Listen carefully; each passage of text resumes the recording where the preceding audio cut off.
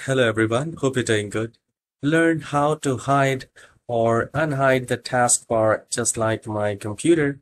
You can see right here, if I hover the cursor down where the taskbar exists, I get the taskbar and the moment I go back somewhere else, I click anywhere else, I do not see the taskbar. So if you want to do that, so here in the taskbar, you just need to do a right click on Windows 11 and then we need to go to taskbar settings.